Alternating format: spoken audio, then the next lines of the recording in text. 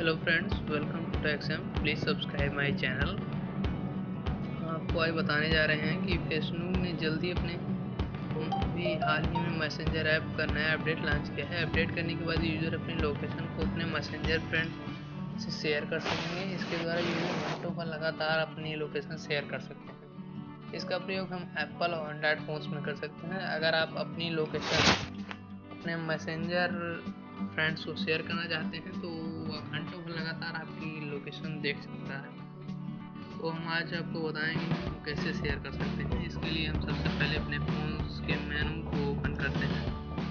मेनू open की करने के बाद अपना मैसेंजर ऐप खोलता है।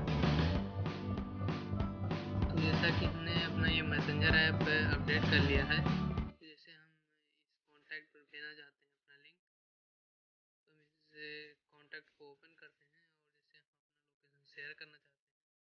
इसके लिए हम क्या करेंगे इसे?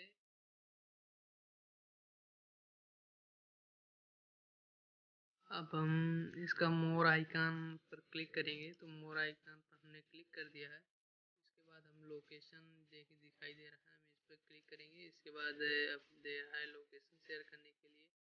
जैसे हम चेक करते हैं कि हमारा ये जीपीएस चला कि नहीं चला। जीपीएस ऑन करते हैं।